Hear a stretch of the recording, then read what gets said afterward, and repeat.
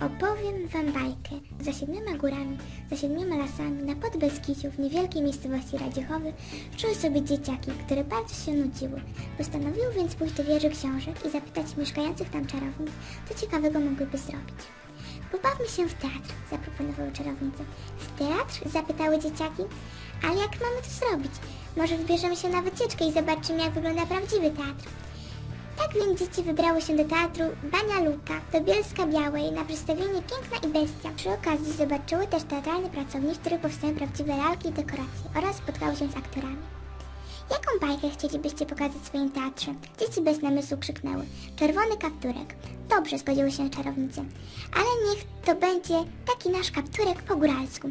Dzieciom bardzo spodobał się ten pomysł i zabrały się do pracy. Oj, nie było to proste zadanie. Uszka w igłach okazywały się za małe, nitki się plątały, supełki nie chciały się wiązać, nożyczki krzywo cięły materiał, ale z pomocą czarownic dzieciom udało się uszyć wspaniałe lalki. Co mamy robić dalej? zapytały dzieci. Teraz weźcie swoje lalki i spróbujcie przedstawić historię czerwonego kapturka. Były chwile zwątpienia, ale też świetna zabawa i ogromna radość, kiedy wszystko zaczęło się układać.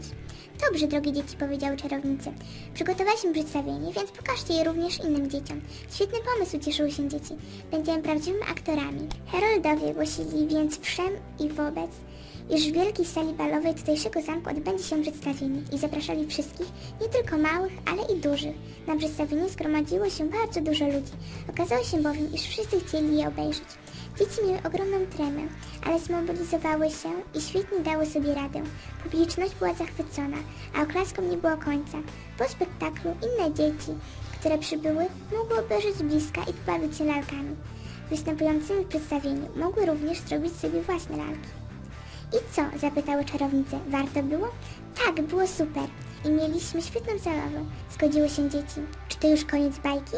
To zależy tylko od was, a potem żyli długo i szczęśliwie. I kto wie, może przygotowały jeszcze jakieś inne bajki?